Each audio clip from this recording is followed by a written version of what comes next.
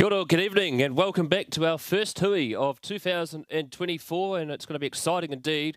Club rugby starting this weekend with the Swindale Shield, and we've got some real blockbusters, including a grand final rematch from last year. So we're going to be previewing that later in the show. We've got our first guest on tonight. He's been uh, hounding me for weeks on end, wanting to come here. He's a big fan of the show, and joining us on the Huddy Hui tonight is Alex Hinchliffe. Alex, many thanks for coming on the Huddy Hui. How's your off season been? No, thanks for having me, Mr. Hudson. I know it's uh, big for you to have me here, the biggest guest of the year. Um, how's the how's the pre-season going? Yeah, pretty good. We're, we're well, pre-season, off-season, feeling good, looking fit, excited for the week. Now, of course, Paremata-Plimmerton last year. We'll talk about uh, last year's stellar season. It's uh, probably going to be turned into a, a, novel or a movie before you know what, what happened last year at that club. But let's talk about Paremata-Plimmerton heading into this season. Uh, what is happening at the club, not only just with the uh, Premier team, but with all the other grades? What, how's the club preparing for season 2024? Yeah, uh, this season's looking awesome. I think we've uh, the 21s are full. Like they've got an amazing team. 85s, the women's teams, they're all pretty strong and just building off last year. Um, so it's exciting to see some young talent coming through and new faces joining on, joining on the bandwagon. Now, of course, um, some clubs in particular have been pretty active during pre-season. How's Paremata-Plimmerton been in the pre-season? Who have you guys played against, and how's the team gone in those games? Uh, yeah, we we had a couple of like a little tournament up in Tongariro, and they went pretty well. And then we had OBU last week, and yeah, I think they just got ahead of us. That was a good little hit out for us to sort of uh, you know dust out the cobwebs, but I think our checkbooks ran out, so we weren't able to bring in as many new players as the club. So we're, we're struggling a little bit this pre-season, but we'll see how it goes. Now, of course, um, in the off season, a lot of clubs announce a whole lot of new players or people joining yeah. the club. Let's talk about Paremata-Plimmerton. You've got some new signings. Um, you've also yeah. got some uh, pretty impressive uh, players that have made the move out to Ngāti Toa in 2024. Yeah, yeah, uh, there's a few good new faces. I think with uh, like Alex Fidow, so I guess I, I, don't really want to say it, but Sam Mayo's been a good addition as well. Um, he's been a, been a great addition to the team. I'm probably missing out a couple of the new faces. I probably wrote it down actually just in case this question came up. But yeah, those three have been a pretty pretty good addition. Um, Cody as well has come from the UK from the, from the back. So, but again, like we're just building on, having a solid team, and I think holding on to the majority of the players from the last couple of years they've joined us. Now, of course, last year, 2023, was an amazing year for the club. The Premier side yeah. pulling in big crowds, coming away with trophies that many at the club probably thought you would never win, including the Swindale Shield. Let's talk about last year. Um, in particular, the highs of that season. Uh, what was it yeah. like for you, who had been in that club for a long time? But in particular, how are you going to take what you guys achieved in 2023 and take it into this season? It's, it's, a big. That was a big question actually. I don't know it was part to answer first. Um, yeah, I guess there was no secret. I guess two, two, three years ago we started to really build something. I guess when I came back, we started winning, so that was quite good. Um, but I think uh, G's built a really good culture there. People have bought in, and for like the players that have stuck around, like myself, Penny, Tane, Luco, Mary, uh, and Junior, like just the, the drive for competition, the drive to fight for your spot. You know, we're making better decisions in our day to day life. And I think the the culture, yeah, it's just been an awesome culture. I think everyone's excited, wants to be there in training. You know, every Tuesday I get to training, every Thursday G gives me a big hug and a kiss, and that's probably the only reason I go just to get that because I don't get it at home. But um, yeah, I think we just keep building on that culture and just see where it goes with that. And I think um, yeah, we can't rest on on last year's results. I mean every other like I think we caught a lot of teams off guard this year or last year. Sorry, I lost my bearings. Um, so it's just they're all going to be out for out for blood, and so we've just got to do what we're going to do this year. Let's wind back the clock. And where did your rugby journey start for you? Um, I was actually a Paremata-Plimmerton junior, so I started at 12 years old. So I think I was under 13s in my first year. Um, then kind of chopped and changed schools a bit, went down south, and then finished at Wellington College. And I was obviously the star of the first 15 there in my last year.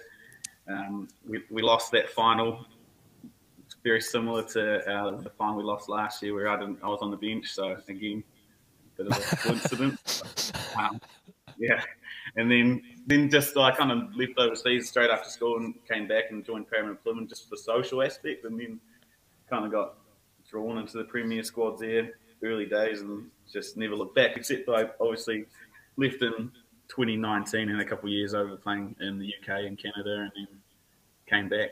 I had a new coach, Justin Wilson, great guy, but we didn't gel as a rugby, I sort of had a gap year again, and then came back when G came back, so came to us. How have you found playing overseas in those uh, certain stints you've been overseas playing? What's it like over there, and where did you play? Uh, I played in Canada, just like their Premier Rugby, um, just because I was living there, and that was really cool. Like a lot of expats. There was a couple of ex-professionals there as well. Kind of juggled them, and, and so I got the idea to go to the UK, and I was playing in the National Two South there. Um, but as big as I am, I was tiny there, and I just I didn't really like the club. Like it was a oh, it just doesn't it didn't have the same sort of family culture here. It was good though. Like it was, I think it did make me take the fitness a bit more seriously and go to the gym, as you could probably see. Um, but yeah, I, I, think the family club culture here in, in Paremata-Plimmerton is pretty unlike the others. But yeah, Canada was a good time. UK was was alright. It was a good experience, I suppose. And but coming back last three seasons, I definitely fell out of love with it of the game in England. So having a couple of years off and then coming back to Plimmerton has made me enjoy it again more. Wellington College, of course, has been well known for a rugby school and great success over the years. Uh, you mentioned how you made the final that year, but tell us about your time in the first 15 at Wellington College, who coached you, and uh, who was it that you lost to in the final that year? Uh, yeah, we had two of the coaches. It was my good friend Lincoln Rules, Greg Sharland. I'm sure there was someone else, but I, am probably missing them. Um, but those are the two, the big cheeses there. Um, it was really cool. I think I was in there for more for just the talking rubbish than my rugby skills. Um, but we won, or we drew quad final. Luke Campbell missed a couple of kicks there, but we won't talk about that either. Um, and then we lost in the final, so to Silverstream. And I couldn't tell you played in that Silverstream team. To be honest, it's a long time ago. I'm getting on almost 30 now. We wouldn't think it, but it's a long time ago now. Uh, time flies, doesn't it? And of course, um, yeah. did you get to play in the uh, quad tournament at all during your time there? I did. Yeah, we um yeah we went down to Christ College, so we played Wanganui the first game and then Nelson College second game. So that was quite cool. I think there's an old clip of Nelson Asofa Solomona just running through everybody on that one. Um, but yeah, it was a it was a pretty cool experience going down there. We had a we had a very talented team in terms of some big names like yeah, Nelson, James Blackwell, Wes Hoyson, uh, just to name a few of the stars. And yeah, it was a pretty stacked team. And then obviously me. Now, of course, you mentioned you've been overseas, but uh, why was you know you said you were Paremata-Plimmerton junior, but what what was the main reason for you to go back to the club uh, at your senior level? Uh, it was probably I was living out these ways, and uh, I think there was a few friends that went there. We were just playing social 21s, so we had a really fun 21s team that year. There was about um, yeah six, seven of my good mates at the time that were like, "We're going to go do it," and I kind of again I got over rugby a bit. Then just jumped in the 21 squad, enjoyed it, and the, the club culture was amazing. I think the, the coach at the time, Dave Burney, brought me in pretty early, and the the senior players really took me under the wing and then sort of loved it. And it feels weird to now not be one of those younger players and be the senior player, but yeah, so it was a it was a cool club at the time. We always had a good culture. Uh, we just didn't always have the results to go with it. So now it's nice having a good balance of both. Now let's talk about the, those times when the club uh, really got into Premier, but it battled its way through and had some tough times. Let's talk about um, most of your career at the club. What was it like during those tough times, and what were some of the key motivating things that kept not only you but your fellow club members fighting to where you are today? Yeah, yeah, it was. I think I, I was fortunate to miss a couple of the biggest, darkest years. I think Tana calls them. Um, but yeah, I think from 2014 coming into that, I think yeah, it was it was deflating. You know, like losing most games, and I think we showed pride in a lot of those games, and I think it was just the the, the pride in the area, the pride in the club that sort of kept you going and sticking it out and, and putting some respectability in the scoreline. I think in, in 2018 we really started to show that. I think with uh, uh, Phil Gibb and Mike Hunter, who were amazing coaches, and uh, really did wonders. And unfortunately, they didn't stick around or get the opportunity to stick around because that year we well, we won three on the bounce, which was first ever in our club's history. Um, built a pretty talented squad, and but unfortunately, just they, they left the next year, and so did uh, abundance of other players, and kind of went into those yeah next couple of years. But yeah, pretty tough, I'd say. I, I don't really remember any particular embarrassing games. It's kind of all blacked that out now. Now, you're a very versatile forward, but what is your preferred position and why? The flanks or being hooker in the team? Uh, well, Frank's been egging me on to decide where I think I should just stay as uh, just whatever they want me to, whatever gets me on the team sheet. I don't really care, to be honest with you. I'll, I'll be in the backs.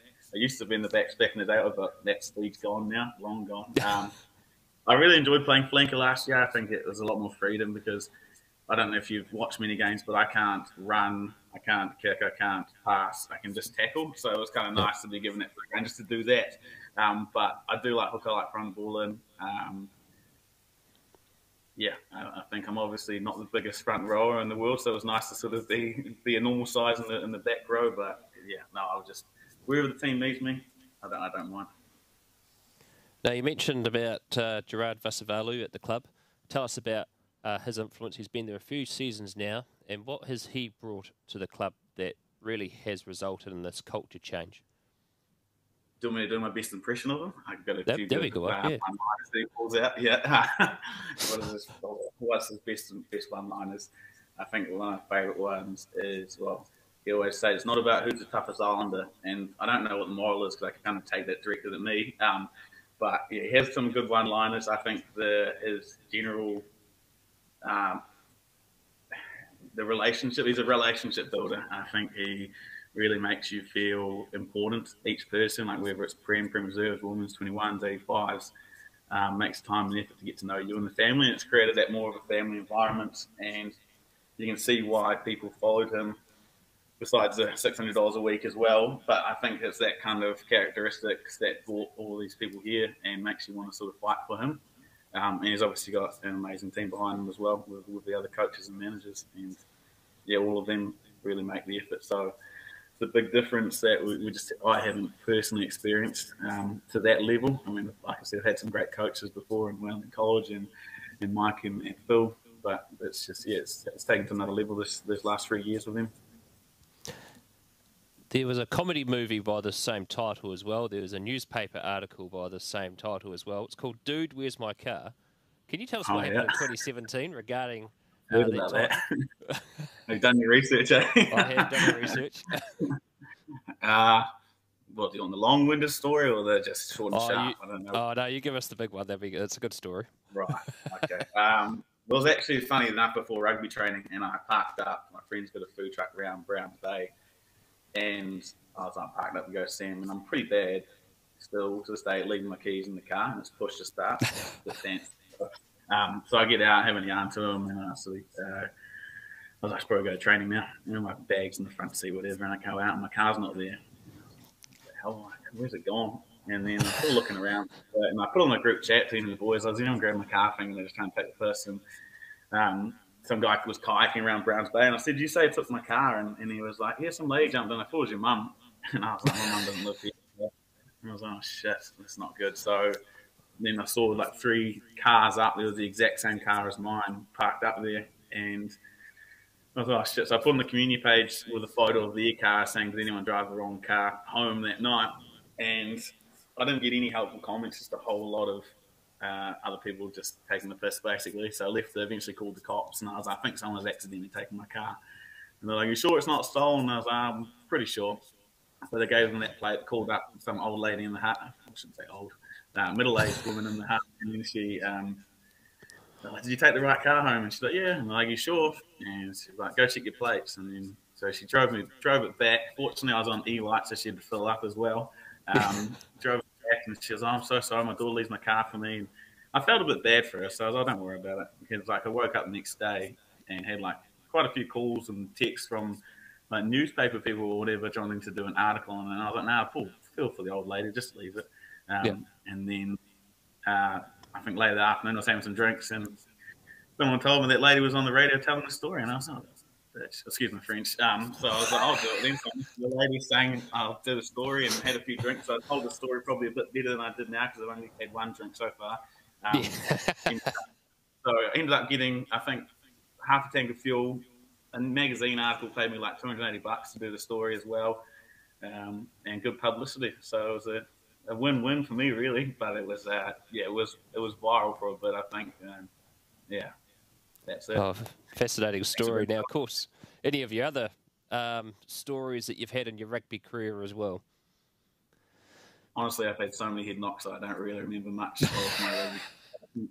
my highlight of my rugby, not my rugby career personally, was probably uh, your show, watching it last year and watching Sam Clark battle through the internet, and that oh. that was probably my favourite uh, rugby memory. I suppose it's rugby related, but no, yeah. I don't think I've got to there's, there was Paul Latham said to me last year, "There's something wrong with Parramatta play, Paremata-Plimmerton players on the internet." Louis Northcote was no better either. You're going very well tonight, so I hope you haven't. Well, those boys live in the wop wop. I'm in the. Yeah. I'm in the. I'm in the, the get not the ghetto, but I'm in Pukerua Bay, mate. We're fancy up here. Yeah.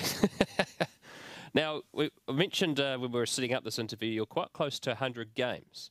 Tell us how many games you're currently on, um, uh, and um, are you hoping to achieve that this season? Because there's a lot of competition within the team. Yeah, definitely. Uh, I'm on 88, but I'm not counting. Um, so hopefully stay injury free. I mean, only last year broke two fingers, so this year, as long as I don't do that again, should should get it. But yeah, there's a lot of competition, I think, but it's a very healthy drive. Like I want to be involved, but I also want to put the team first. So if it means I got to stick around another year next year, we'll see. But yes, uh, yeah, in, in touching distance, hopefully that comes about. Who's the toughest uh, rugby player you've played against? Who's the toughest rugby player? Oh, good question. Um,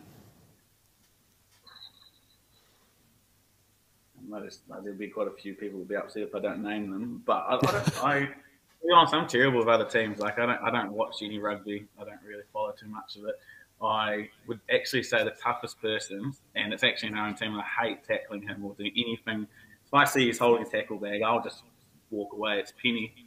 That man is brick wall. It's, it's disgusting. I hate it. And we're training, just relax. But he's the, the loveliest guy in the world. But yeah, that man is just made of rocks.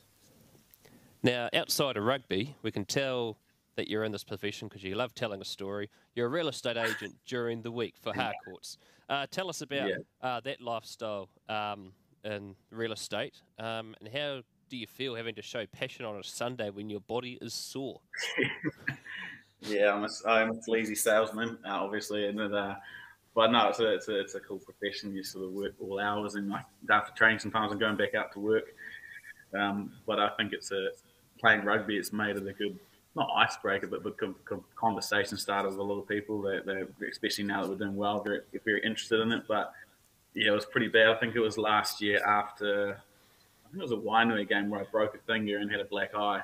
So turning up to an open home in a cast and a black eye, not ideal. On Sunday morning, and even the nurse when I was at A and E, she was like, "This looks like a fight." And I'm not a scrapper. I can't scrap anymore now to my fingers, but yeah. So so yeah, not not does it go well together? It goes alright together. I think definitely getting business from the club, but um, that's not why I joined the club. It was never about business. No, we have to talk to you about sponsorship for the Hui, but we never know. We'll get there one day. I've got um, no money. talk to Elliot. talk to Marty. He's got all the money. He's got all the. now let's uh, wrap things up. But let's talk about round one this weekend. It's the repeat of the Jubilee Cup final. Uh, you have to travel out to the Polo Ground to start your defence of the Swindell Shield.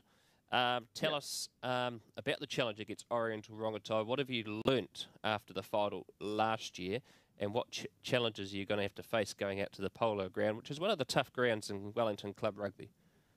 Yeah, it's awful. They don't tell them I said that. Um, I think they they uh, they're big boys. They're the, they're the biggest team in the comp, and for some reason they seem to always run at me because I'm a little redhead. Um, so I hate it. But it's going to be tough. I think what have we learned from that final?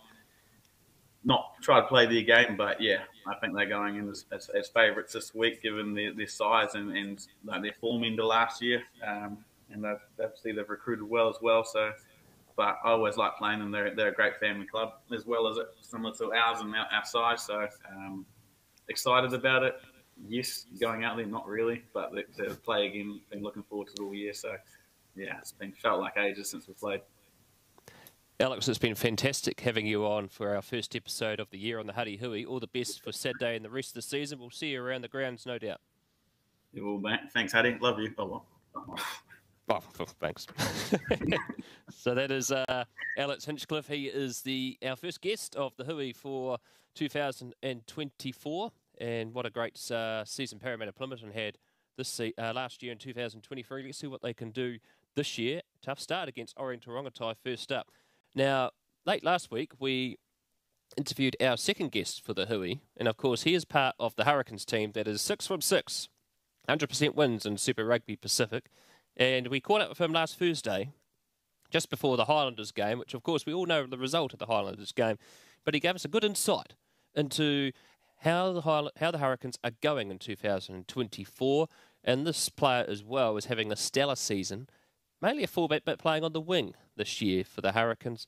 Josh Moorby is going to be our next guest coming up soon. In the meantime, we'll just put you on pause until we get the video loaded.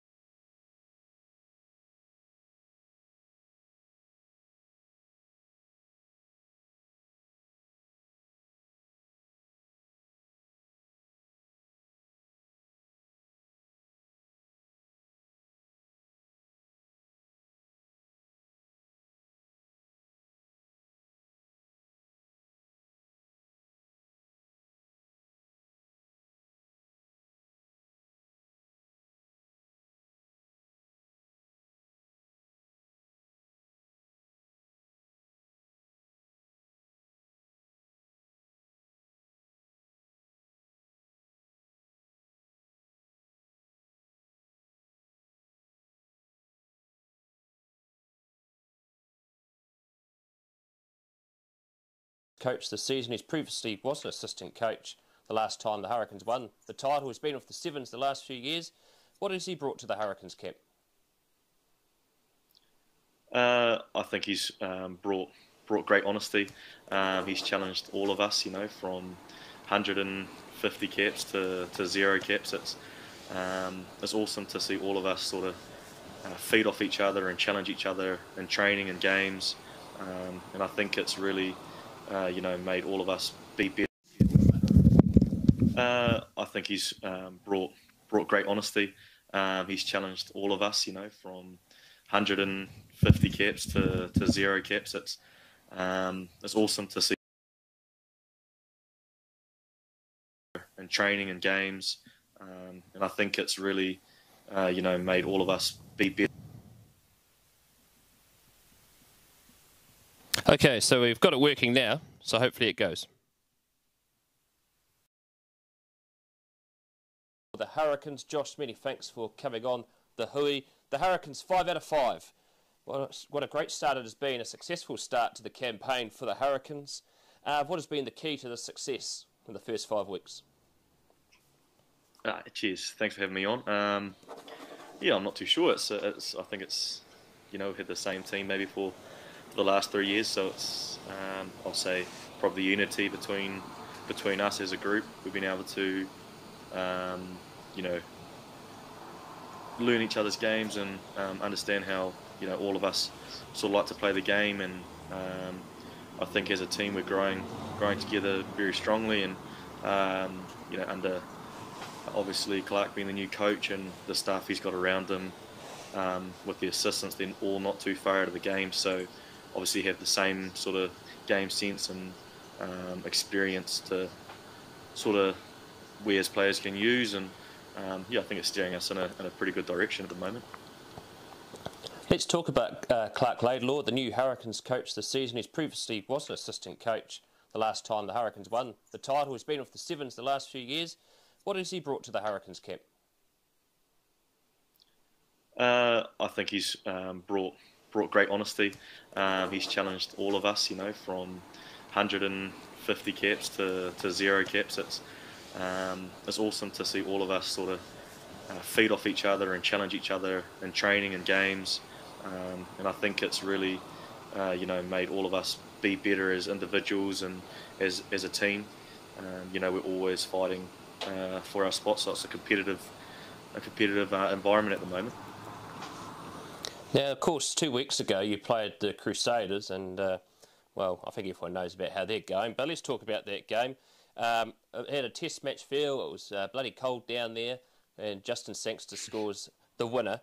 Uh, tell us how special it is not only to beat the Crusaders, but to do it on their own patch down there in Christchurch.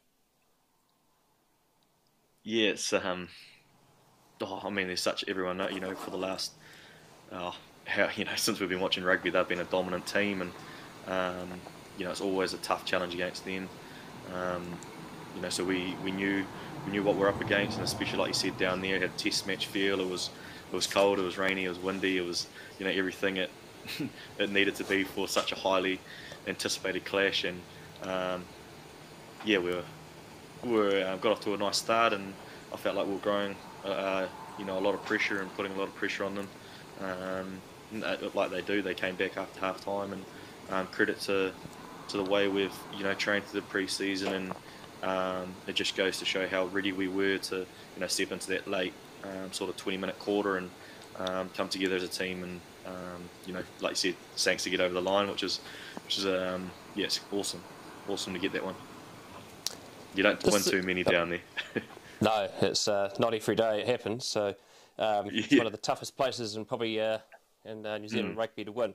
Um, so this season, you've been on the wing most of the time. Uh, two tries against the Blues, and that was another fantastic game against uh, the Auckland Powerhouse. Um, what is uh, your preferred position, though? You prefer being a winger or a fullback?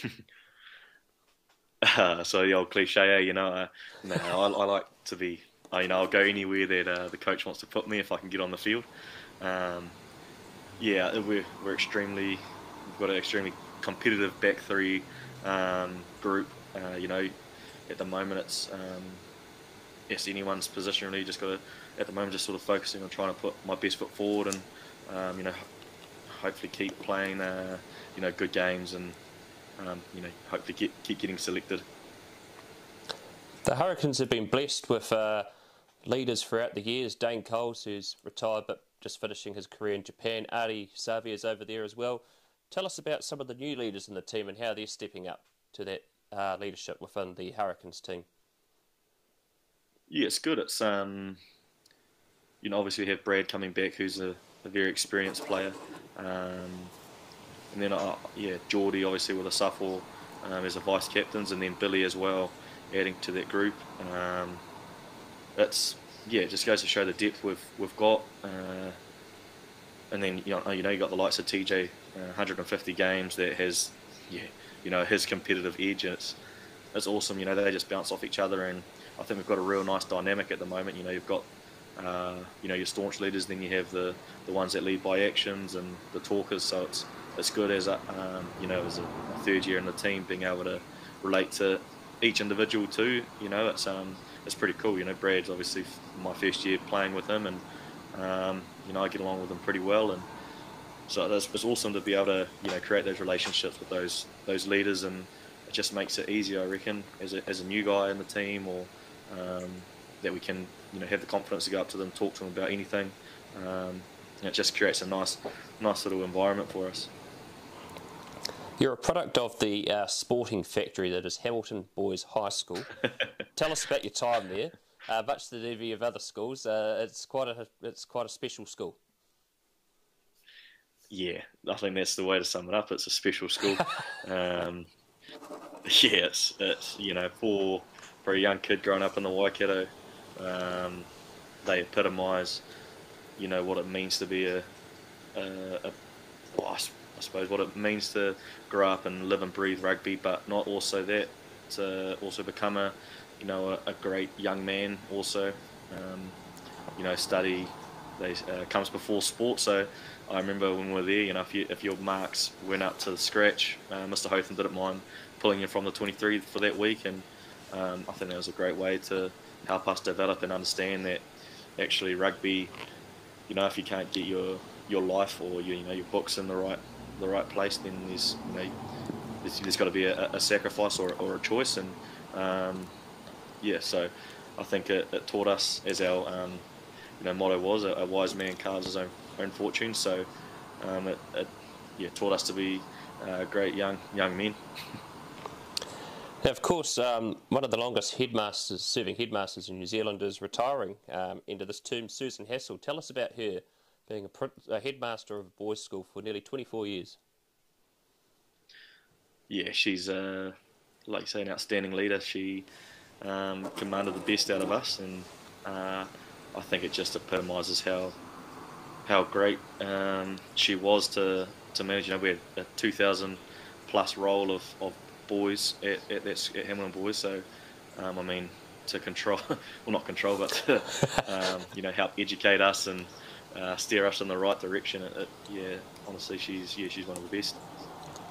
And of course, um, the rugby program at Hamilton Boys High School has been very successful.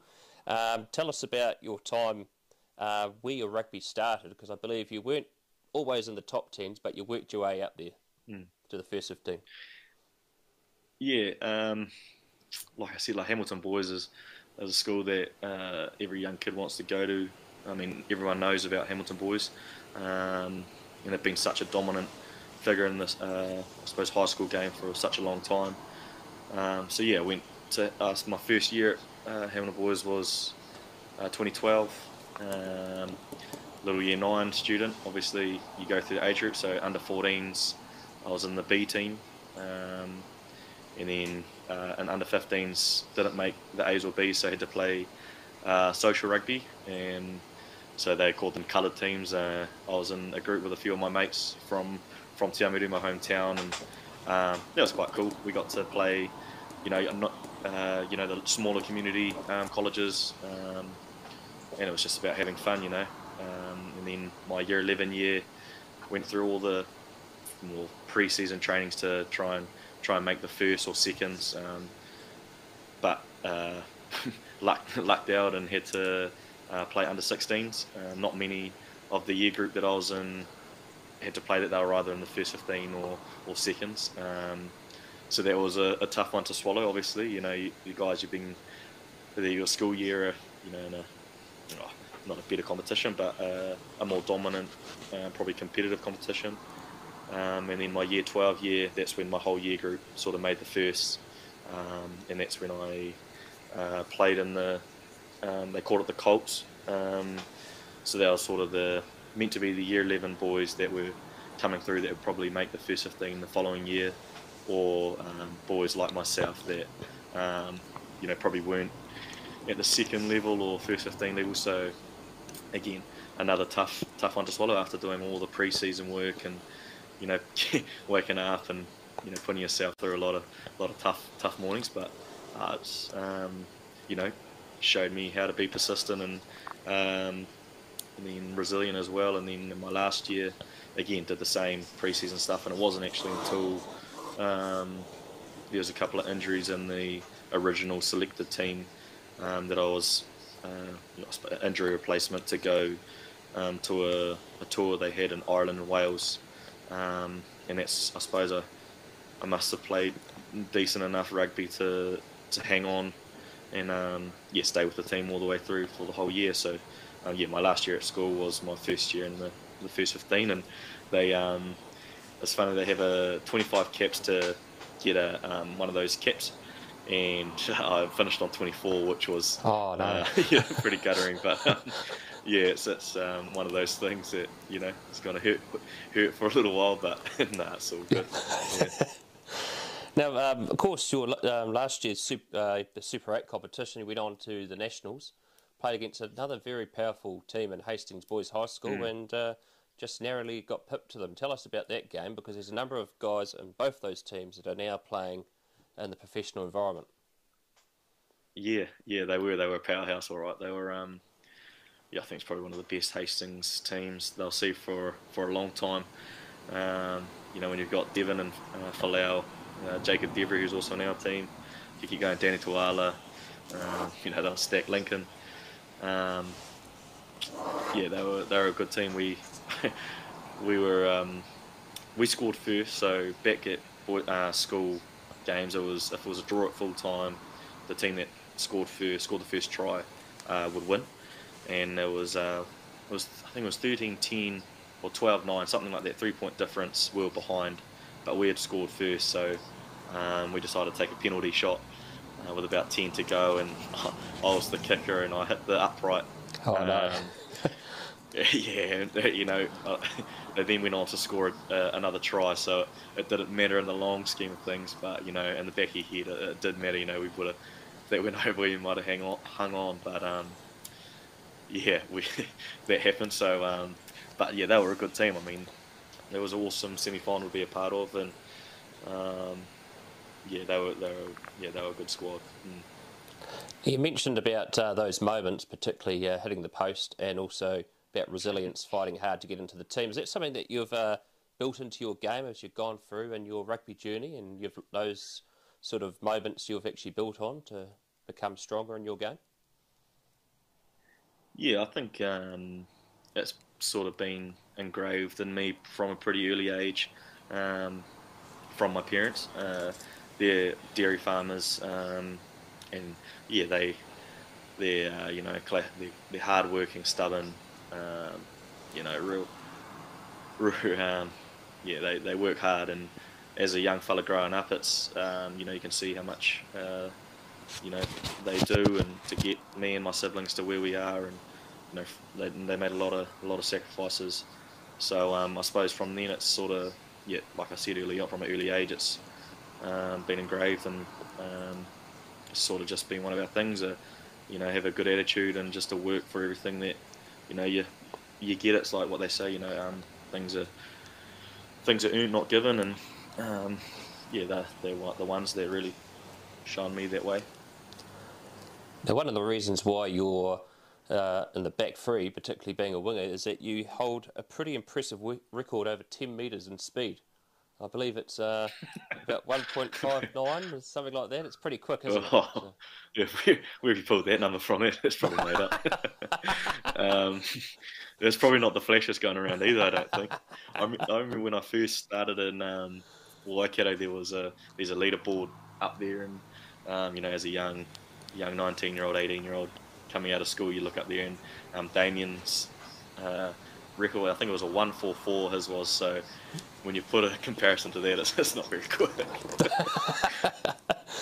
now, of course, um, your path to professional rugby, uh, you did about a year or two playing uh, club rugby in the Waikato, and then you got a phone call in 2019 to travel down to the deep south. Tell us how that came about when you uh, joined up with the Southland Stags. Yeah, um, yeah, I suppose I, I, played yeah the Waikato under 19s and um, yeah did what, two or three years in the Waikato uh, club system.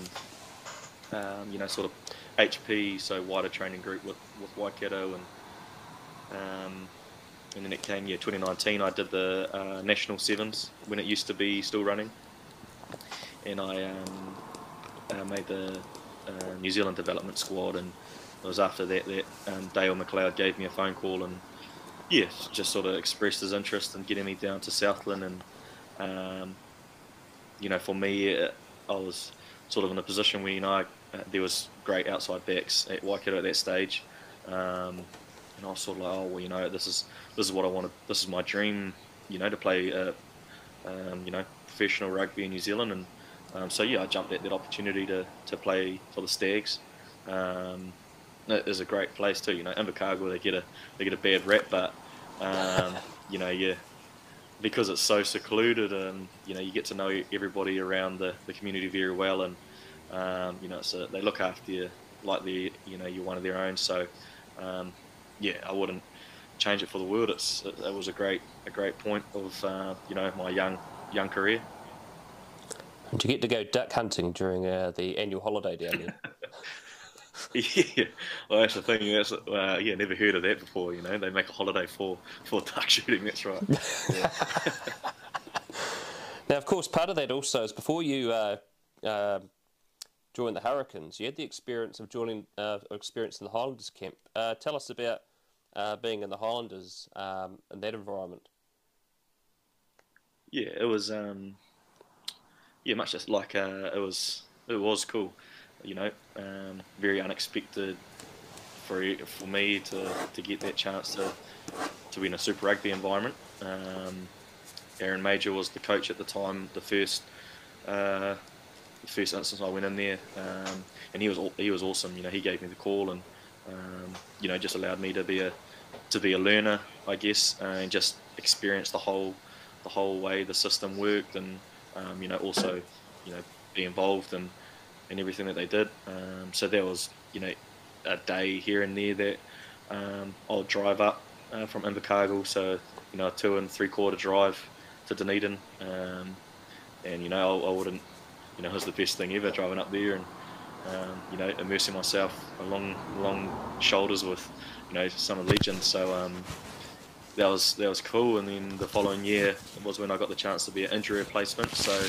um, packed up my stuff from Invercargill and uh, yeah, lived in Dunedin for what six months. Uh, that was when the first year of the uh, Super Rugby Aotearoa comp, um, and I was uh, yeah, like I said, like an injury replacement, but um, also also felt like I was um, you know, putting my best foot forward there and uh, learning and developing as a player as well. Um, you know, living and breathing rugby every day is um, was a pretty cool thing to do, and I think it helped me, um, you know, enhance my game and, and learn how to be a, a better rugby player. And um, yeah, it's, a, it's a little bit better than changing tyres and you know, a little bit of a nine to five job that, that I might be doing in Invercargill. But um, yeah, that was a, a wicked time to be um, yeah, part of that environment.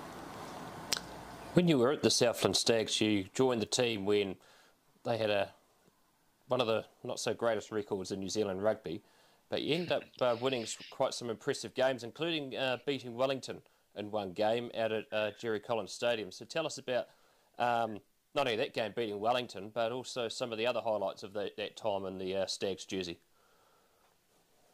Yeah, um, well, that was the thing when I first went down. I didn't actually realise uh, the record that they had, um, and then you know being along some of the boys that hadn't actually won a game um, for the Southland Stags. You know they might have been injured for a game that they won, and so that you know there was 40 odd, 30 odd games, and they hadn't hadn't had a win. Um, but that year we had a we had a pretty good team that year. I, I felt. Um, you know, we had Marty McKenzie at 10, and um, he he steered the ship pretty well. Obviously, a classy player. Um, and yeah, so we, we were close the week before we got that evasive win. Um, we were playing Manawatu at home, and we were up 26-7 at half time. And then uh, Ngani Laumape decided to to play some rugby, and he he, oh, he scored a hat trick in the second half, and um, we lost, let that game slip. Um, but then the following week we had counties um, at home again, and you know it was we could feel that the win was coming in that group, and um, yeah, it was good. It was an awesome, awesome atmosphere for, um, to to finally reward the reward the community and the crowd for turning out every week to with a win. It was it was cool, and then the following year. Um, we got off to a good start. We yeah, like you said, we beat Hawke's Bay at home. Um, we're close to Bay Plenty away, and then beat Harbour at home again, and then um, yeah, we had a pretty good season. You know, it felt like we were gonna, um, you know, that was when the comp was still split, so it was just had to make the top four, and we would have made a semi-final to hopefully uh, promote ourselves. Um, we made the semi, I think, that year, but uh, lost to who did we lose? Lost in the semi to somewhere I can't remember, but um, yeah, it was the first time Southland had been in a uh, semi-final for a long time. So um, again, it was a it was a cool group to be a part of, and um, you can definitely see down there. You know, they the Southland supporters are ferociously uh, supportive of their teams. Um, so it was cool to, to see how, how involved that they were getting. Now, of course, in 2022 to now, um, you moved from one end of the uh, island, from the bottom to the top, up to Northland. So tell us about yeah. uh, playing for the Taniwha up there, and um, what's it like when you have you ever played against the Stags in the uh, teal jersey of Northland? Yeah, yeah, um, that was a tough move. Um, obviously, Southland who had given me the opportunity and my first first taste of of uh, NPC rugby. Um, so it was hard to to leave um, such a great group uh, but for me, it was it was to get closer to home, and um, Northland gave me that opportunity. Um, so yeah, it was under George Konia, um, who's a, a, a, great man. Gave me the chance up there, and the famous Cambridge Blue was was a very very cool team. Um, you know, that again they're like South, and they just play for each other and play for the community, play for the jersey. Um, and that was that was a great. That was when the team uh, competition came back together as a full um, full group. So to make the quarterfinal that first year up there was it was awesome. We did some pretty cool things.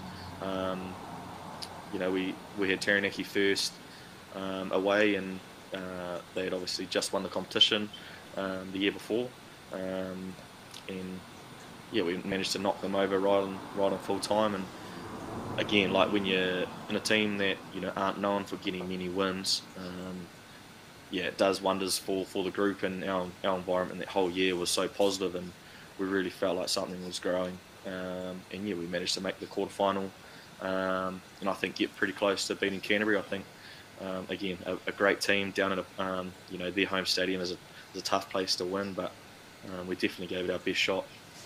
Um, but yeah, for the last two years, it's been a been an awesome awesome team to be a part of, and again we've got some great players, some great boys getting some um, some good time at that Super Rugby level. So, um, yeah, hopefully uh, they can continue that. Now, of course, um, we're based here in Wellington, mostly club, club rugby, but you had the opportunity back in 2022 to play for a Wellington club and being the Upper Hutt Rams. Tell us about playing out at Maidstone for the Rams and what was a, a pretty entertaining game. It was like a 21 all draw against Johnsonville. Yeah, that's right. Yeah, it was. Um, yeah, it was cool. The yeah, Upper Hutt Rams are a great great club team. Um, yeah, we played. We are playing actually in Johnsonville, so up on the Oh yes. Up on the caged in field. I remember when I first uh, drove in there. You know, you got a massive drive in. And you're just like, holy. Um, but yeah, like I say, it was entertaining. We were up at half time, and I thought, oh yeah, we, Yeah. you know, we'll hopefully, you know, get away with it here. And um, yeah, credit to Jabil, they came back and gave us a, a good second half, and yeah, we drew 21 all. So um, disappointing for us, but yeah, it was a cool, cool club game to be in. They give you plenty of advice on top of the hill, don't they? yeah, they do. They do. They let you know what's going on. Yeah. Now, of course, uh, one of the more uh, important highlights in your professional rugby career to date was uh, making the Maori All Blacks in 2022. Uh, one game. Tell us about the experience of being part of the Maori All Blacks, uh, particularly the influence of your iwi, uh, Ngāti Maniapoto. Yeah, it's um, it's a special team. Like I've never really, uh, you know, as as my career's folded on, I was always in the in the goal book to you know make make that team to be able to represent my heritage and, and my culture and yeah, like you say, represent my iwi. Um, and for me, it's a it's a massive honour to be in that team and uh, to share the field with some of the the, uh, the guys that I did. Um, yeah, it's uh, it's a great great environment to be a part of. Um, fully immerse yourself in in Māori culture and to learn a lot about uh, the history and um, everything that it means to be a Māori um, boy in New Zealand. It's um, yeah, it was an awesome it was an awesome thing to be a part of. Very special. Yeah, very privileged to be be in it. Now, this Easter weekend, Saturday, you're playing the uh, Highlanders down in Dunedin, Forsyth Bar. Um, it's going to be quite an important game before the bye. Um, the Highlanders are not a bad team this year, but you've got a very special occasion for one of your uh, teammates who's bringing up 100 games. Yeah, yeah, it's going to be um, an awesome occasion for Tyrel. Uh, 100, 100 games, and he's you know uh, I think it was about 30 of them for was for the Highlanders. Um, so it'll be a, a special night for him. Um, but yeah, they are. They're they're a great team. They're a gritty team. They'll stay in, in it for you know the full 80. Um, so yeah, we, we know the, the challenges they're going to bring, and um, yeah, yeah, it's going to be it's going to be a good night. Um, Saturday night's going to be a tough tough one, but yeah, we're ready for it. Now, after the bye, the Hurricanes have quite a period of tough games coming up as well. So, what's going to be the keys to the Hurricanes continue on their fine form for the rest of Super Rugby this year? Um, I think if we just stay disciplined and um, in, in our you know our week, our detail uh, throughout the week, and how we we approach uh, each game, um, yeah, I think uh, we're in a pretty good spot at the moment. So um, we just got to continue doing what we're doing, and um, you know we'll be hopefully maintain this this role. Now, also, we'll finish off. Um, apparently, you're a pretty good golfer as well, from what I hear. Um, have you got? Are you, are you better than Jordie Barrett yet? Nah, shoot, no, no way. nah. Well, He's- Josh, it's- Yeah. well, Josh, it's been fantastic having you on tonight. All the best for the weekend and the rest of the season. Cheers, thank you. We're here with Josh Moorby, the uh, utility back for the.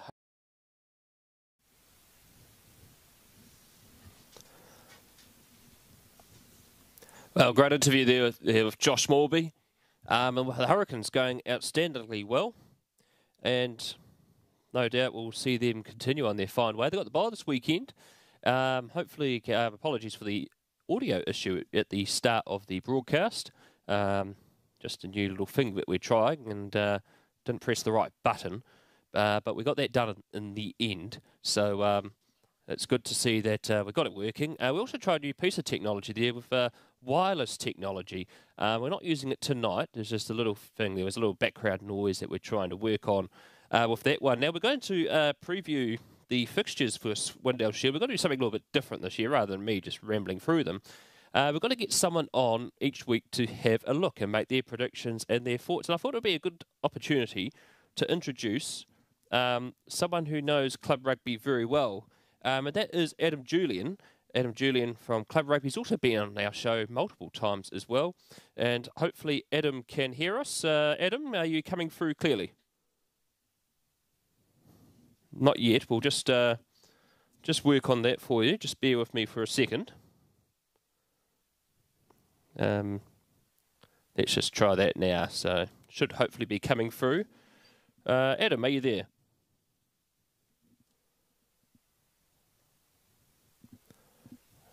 Not there yet. Should be coming through very soon, but we'll give uh, him talking about his his views on club rugby coming up for the season ahead. So we'll just uh, we'll just try that again very soon. It's pre-season after all. We're just getting used to all the technology. So just bear with us for a sec. We'll give him another go.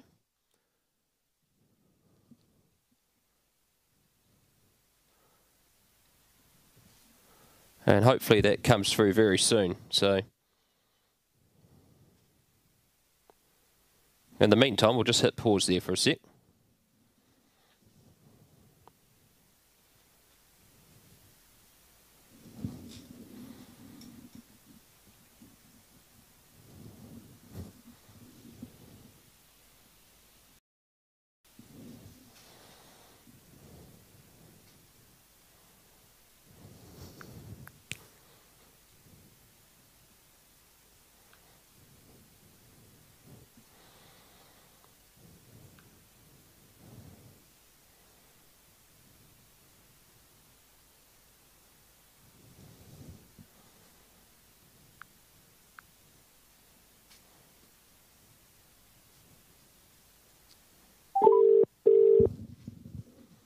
I believe we might have Adam now. Kia ora. G'day, Adam. Can you hear me clearly? I can hear you clearly, Brad. You're forgiven for some teething problems. It's only pre-season, it's only March, but there's always a great deal of optimism in March, of course. Autumnal weather conditions. And, you know, the best thing about the beginning of the rugby season, Brad, is the sound of sprigs on concrete. That's when I know it's rugby time. And of course, the grounds, of course, have been pretty hard with concrete lately. We're glad to have some rain uh, to try and soften it out. But um, who would have thought club rugby, you know, back in January, we thought we've still got four months. It's already here. We're already ready to go. And today on Club Rugby, alongside yourself and Stephen White and a few other contributors, gains and losses came out today. And as always, it's a merry-go-round of players. Absolutely. It's always one of the more enjoyable pieces that – the Club Rugby editorial team puts together because the jigsaw puzzle on who might win the Jubilee Cup in four months begins to become somewhat clearer. You can see the relative strength and weaknesses of each club against each other. There's always some surprises. And with the gains and losses, there's always some late additions or possible disguising from the clubs as well. Now, of course, one of the new features we're going to do here on Huddy Sports this year is mainly I preview the games and I go through and make my predictions. But I feel that, of course, I think we might do a bit of competition each week with someone different. And I thought we'll kick you off with this week in terms of your picks for this weekend uh, for round one of the Swindale Shield. And we're going to look at our first feature game uh, this weekend is Oris versus Paremata-Plimmerton. You're calling that game on Te Puka o on radio this weekend. Uh, your thoughts on this replay of the Jubilee Cup final from last year? Well, goodness, it's going to be a magnificent occasion at the Polo Ground. Oriental Rongotai stunned the whole competition last year, Brad, when they won six elimination matches in a row to capture the Jubilee Cup, and they demolished Paremata-Plimmerton on that bleak, miserable but euphoric day for the Magpies at the Hutt Rec. The Hammerheads have won 14 consecutive games. They beat every club in the competition last year, but unfortunately stumbled at the last hurdle. And remember, Ori's victory was built on a colossal forward effort. Dominic Ropetti won the Jim Brown medal as the best player of the final. He scored two tries and dictated terms in the lineouts, and there were immense contributions from the likes of Connor Lemon and the entire Oriental Rongotai reserve forwards as well. They carried on the momentum after Paremata-Plimmerton had taken a pummeling in the first half. So I suspect that Oriental Rongotai will try and rinse and repeat. They've had a good pre-season. They had a victory up in Palmerston North against Kia Toa, and they're an athletic and powerful side with very few players departing, although Fetu Henry is the new coach. in his little introduction to club rugby fans, he's a double centurion. They've gained Chicago Doyle from Marist St. Pat's. He's a dazzling outside back Mm. who played recently for the Wellington Lions. Oliver I is unretired. That's a wonderful thing about the beginning of 2024.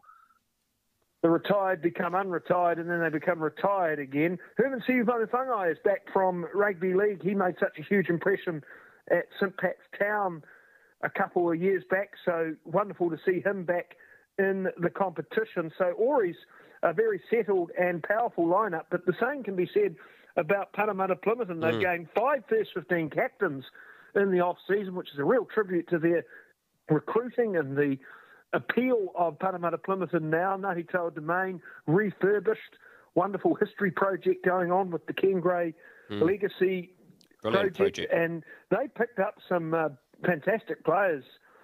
Brad Alex Fidow from Ori's has migrated across to Ngāti Toa, and Alex Fidow was a bullocking prop in the Wellington Lions and the Hurricanes. He shed about 40 kilos and is playing in the loose forward, so he's going to be a very exciting uh, prospect this season. Yeah. And of course, for Paremata-Plimmerton to repeat their success, they'll look to the likes of Sam Clark and Essie Common mm. who combined so well last year. Louis Northcott, on his first touch of the ball from the Horowhenua Cup, he scored a try in Levin in a Ranfurly Shield defence.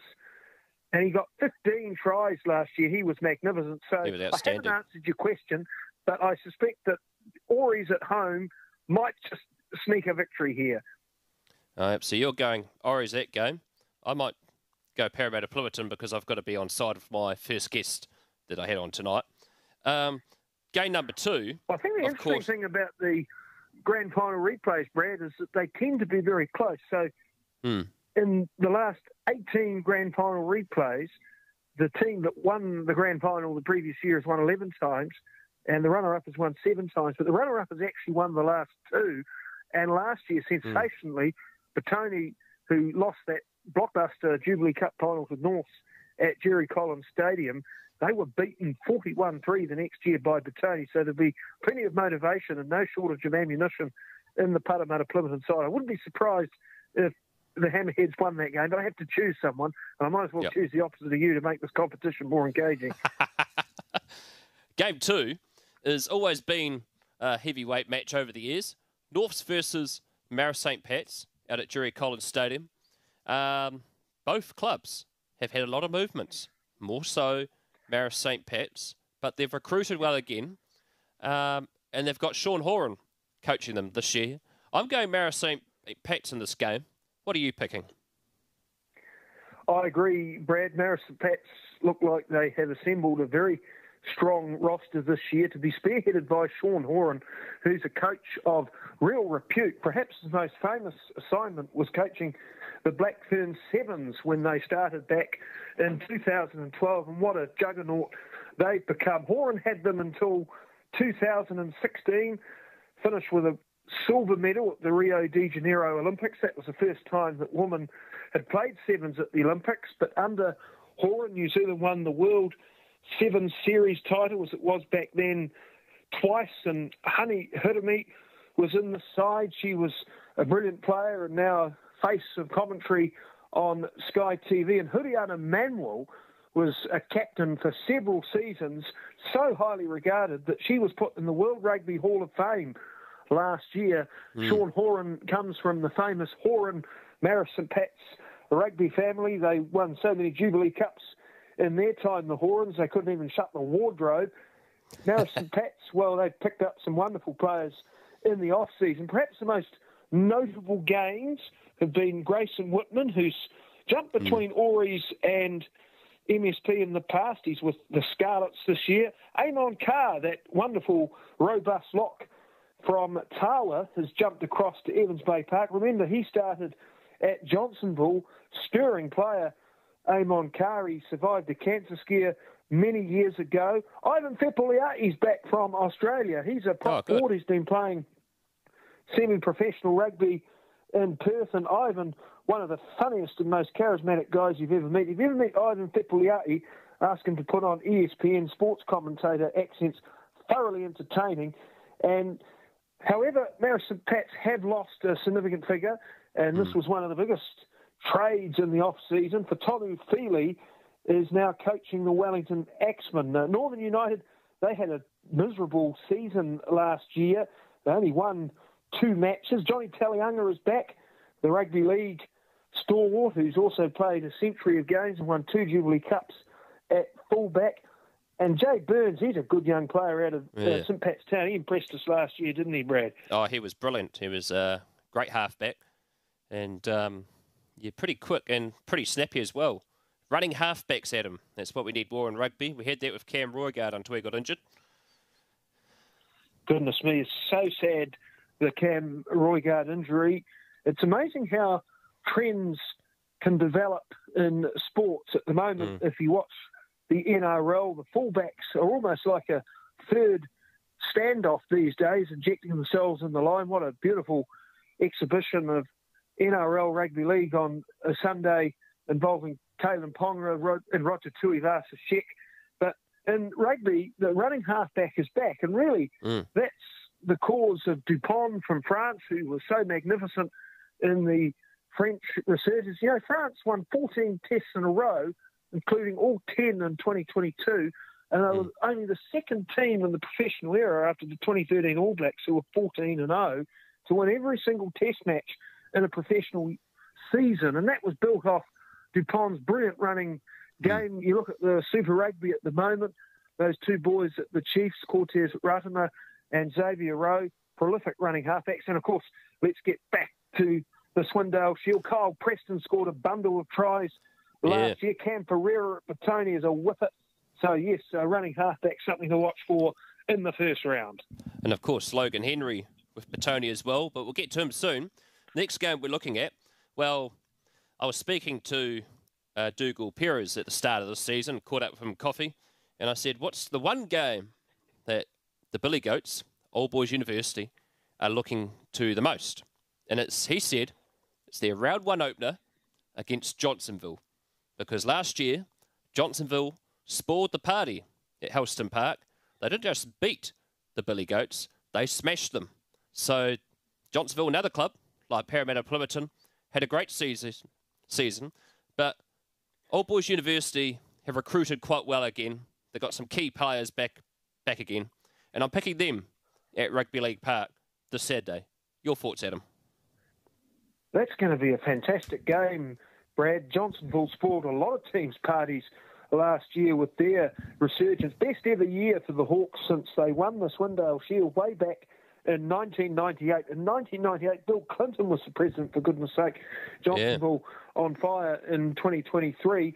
Old Boys University, well, they've won four Jubilee Cups since 2015. Last year, they lost the semi final to Paremata-Plimmerton by a point. They were ahead at half time and had to substitute Caleb Delaney in that game, which was a telling factor in the Hammerhead success because Caleb had scored a 40 metre runaway try and was dominating the lineouts, and he's carried on that magnificent form with the Hurricanes this season. Old Boys University, they picked up Tafuka Pahango from mm. Tawa. That's a big addition. Tafuka's a midfielder who thrived for the Hurricanes under 20s in Topol recently. Boston Hunt, who was the player of the final two years ago, he's back in club rugby and he's playing for OBU. He's a well educated mm. young man and a terrific player. His brother's there too as well. International yeah. recruits in the OBU roster, so that will add some flavour to their team. And two youngsters that I'm really excited about in 2024. Harry Irving was the captain of the Scots first 15 last year. They won the premiership undefeated. He was a lock and loose forward. He's in the Wellington Rugby Academy. They tell me he's an exceptional leader and a fine young man. And so he'll cover multiple positions in the back row. And Ollie Cuff is a young halfback out of St. Pat Silverstream. He struggled with injury last season, but this kid can really play. Mm. In 20 minutes against Palmerston North Boys High School, who are a very strong side, he scored 20 points by himself. And so look out for OBU and Ollie Cuff and Kyle Preston to have a real arm wrestle for a starting place. Johnsonville well, they played some breathtaking rugby last year, and really it was their backline that did the damage. Guys like Mark Sutton and Jacob Wormsley, the fullback, but they added some ruggedness and cohesion to their uh, forward pack. OBU might narrowly edge this one at home, but expect mm. a tight finish. Exactly, OBU for that one. And um, the game on Huddy Sports uh, this Saturday that we're live streaming is Petone Tawa. Um, now, last year, um, it was a narrow loss to Petone against Tawa at the start of the Jubilee Cup competition, and Petone kicked themselves that day that day because they should have won it. Um, but traditionally, this game always goes down to the wire, except for last year's Swindale Shield, where we saw that special moment. Stanley Solomon, four tries. I'm going Petone in this one, just being the home factor, and the fact also I have to live stream the games as well, so that's probably a reason why. Um, but you're Adam. You've call, you've commentated a number a number of uh, Petone Tawa games. Your thoughts? Well, there's been some cracking numbers between those two teams over the years. There was a day at Lyndhurst Park that you and I were present at where it was so windy the gazebo flew away. That was a very dramatic moment. Oh, it sure was. Petone, yeah. we have a clue about how they're going to play because last Friday they featured on Sky Television. They beat Ponsonby of Auckland at 41 33 in Ponsonby's 150th anniversary game. And Petone must have conceded 15 kilos to a man. The ponies were absolutely enormous, but Petone mm. tackled with great heart and fervour and precision, and they managed to cause a sensational win. Stanley Solomon was key in that. TJ Clark, two tries and 19 points.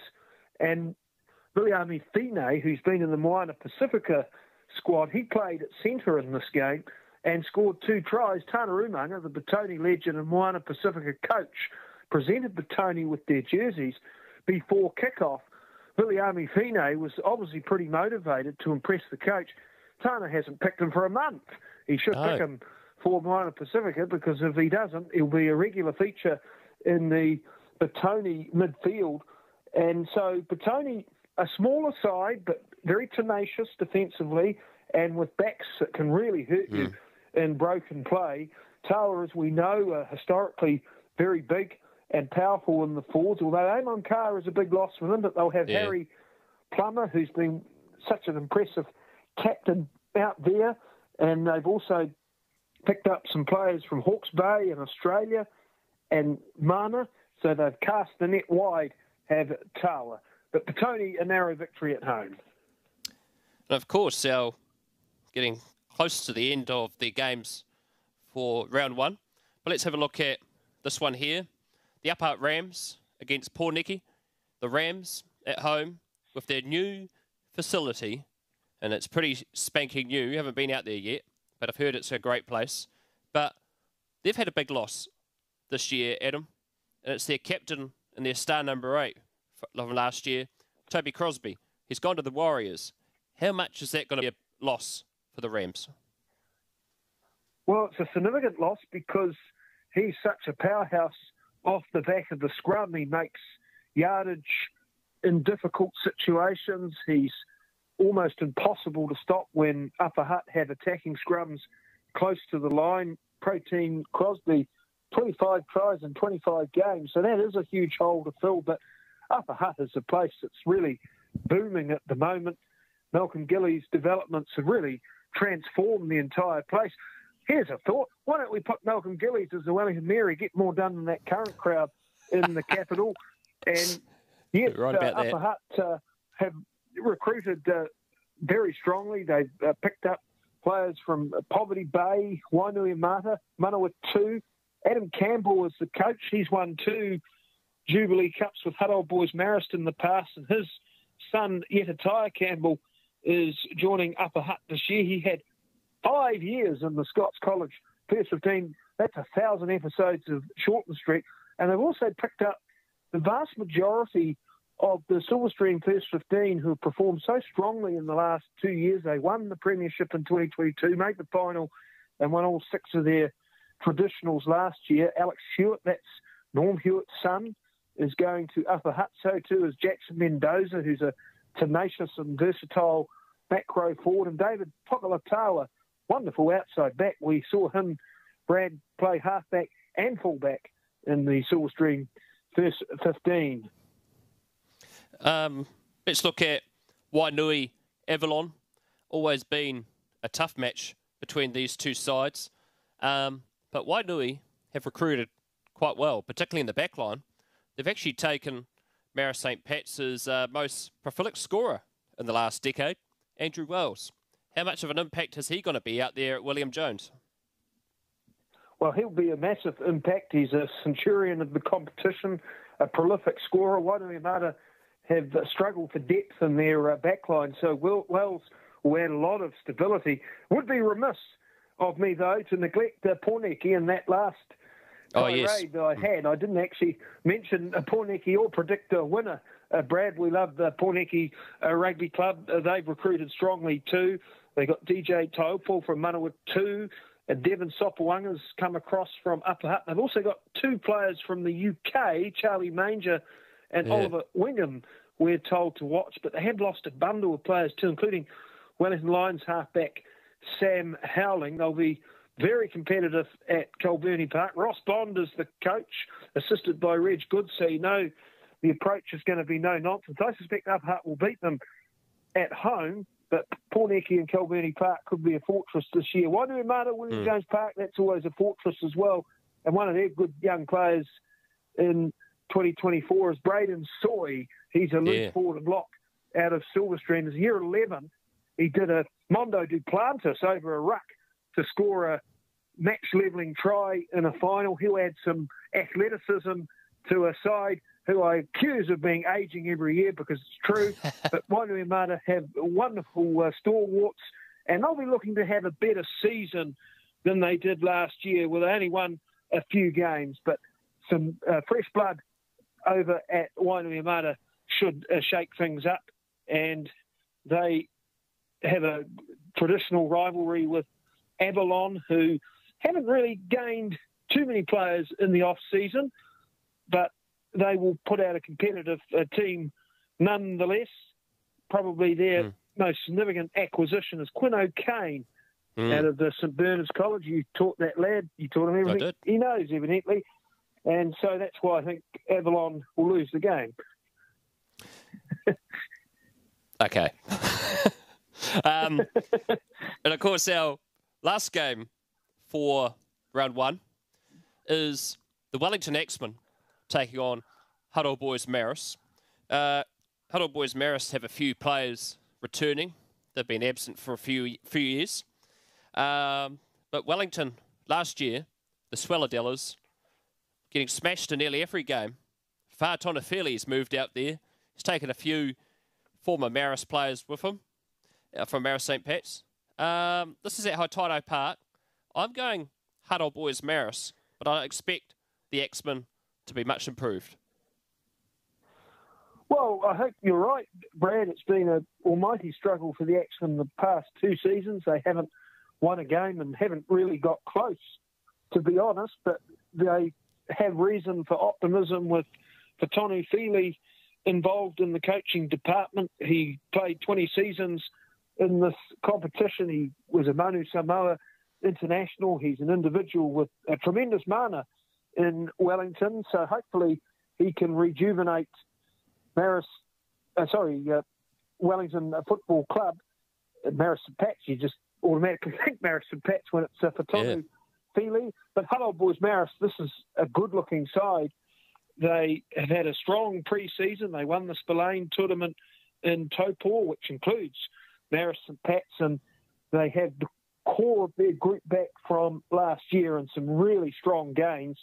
So Keenan Higgins from the Hawke's Bay has returned to Wellington. He won a Jubilee Cup in 2019 with Northern United.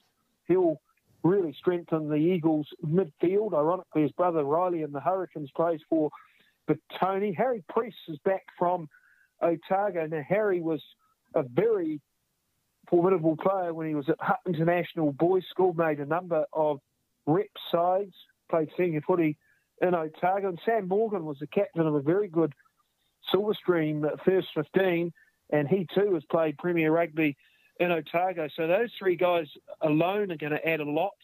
They're young, fit, and capable. and two names I'm excited to see back. Ferretti Saloa mm. has returned from a period in rugby league.